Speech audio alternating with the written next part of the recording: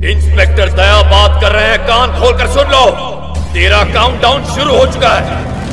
ये शहर तो यहीं रहेगा लेकिन अब उसमें कोई वासु नहीं रहेगा। आज से तेरी हर हरकत पर मेरी नज़र रहेगी। तेरी नींद हराम कर दूँगा एक बुरा सपना बनकर डराऊँगा मैं। मुझसे मुझसे लड़ेगा तू? ए, लड़ाई तो तब कहलाएगी जब सौ लोग मिलकर मुझ पर वार करेंगे। तू अकेला आएगा तो गाड़ के रख देगा